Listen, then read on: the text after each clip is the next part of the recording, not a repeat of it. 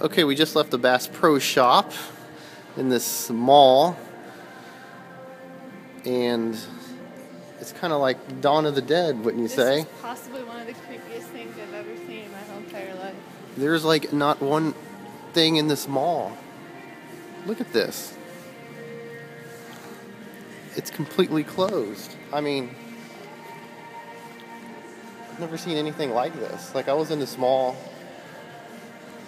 a year ago, a year and a half ago, and there was stores here. There's literally nothing.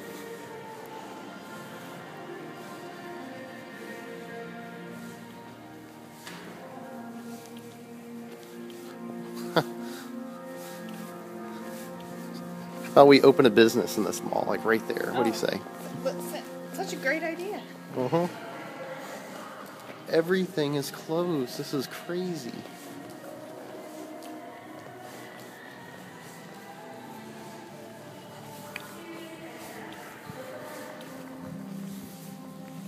Wonder if they still have security guards.